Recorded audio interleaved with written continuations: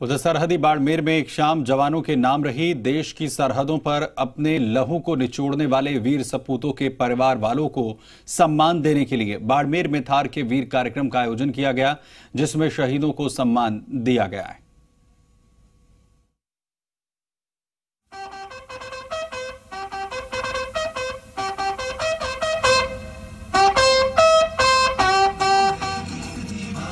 वतन में रहना सिखा दिया वतन से मोहब्बत का तरीका बता दिया तू।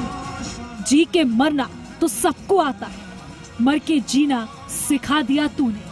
जवान के सम्मान में जलती ये शमा लाफानी है, जो कभी ना बुझेगी।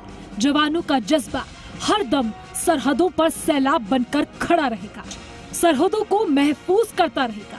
जिन जवानों ने सरहदों पर अपने प्राणों को हँसते हुए कुर्बान किया भारत पाकिस्तान सीमा पर बसे बाड़मेर के उन शहीदों के परिवारों के सम्मान में थार के वीर नाम से कार्यक्रम आयोजित किया गया। हज़ारों लोगों की मौजूदगी में देश के सबसे बड़े सैन्य सम्मान विजेता परमवीर चक्र संजय कुमार और शौर्य चक्र विजेता अनुराग कुमार ने शहीद परिवारों को सम्मान से नवाजा। आयोजन में पुलवामा, उरी समेत विभिन्न जगहों पर शहीद हुए वीरों के लिए दो मिनट का मौन रखकर श्रद्धांजलि दी गई।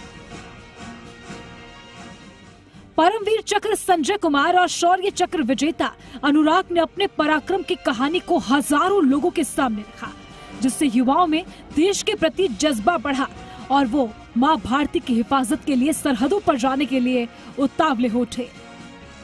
यदि ये मौका वो लेना चाहते हैं जहाँ पे दुश्मन से आमना सामना हो, अपनी वीरता को प्रदर्शित कर सकें और एक जज्बा रखें अपने देश के लिए मर मिटने की तो ये सबसे ऊपर की अनुभूति है हाईएस्ट अनुभूति है कि ऐसा मौका मिला और ऐसा मैं करूँ।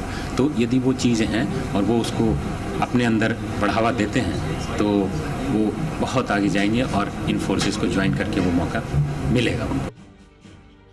थार के वीर कार्यक्रम में बाड़मेर के भामाशाहों ने शहीद परिवारों को ग्यारह ग्यारह हज़ार रूपए की नकद राशि और एक एक भूखंड देने की घोषणा साथ ही माउंट एवरेस्ट पर दो बार फतेह करने वाली राजस्थान की बेटी मेजर दिविका राठौड़ ने कार्यक्रम थार के वीर को संबोधित करते हुए कहा कि बेटियाँ बेटों से कम नहीं है।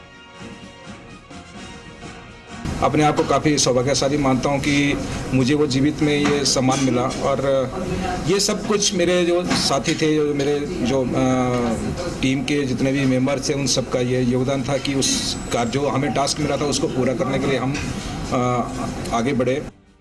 वीरों के सम्मान में आयोजित कार्यक्रम तय दो घंटे की जगह पाँच घंटे तक चला। पाकिस्तान की सीमा से महज 100 किलोमीटर पहले बाड़मेर जिला मुख्यालय पर आयोजित इस आयोजन में माँ भारती के लिए लोगों के जोश ने समा ही बाँध दिया। भूपेश आचार्य, जी मीडिया, बाड़मेर।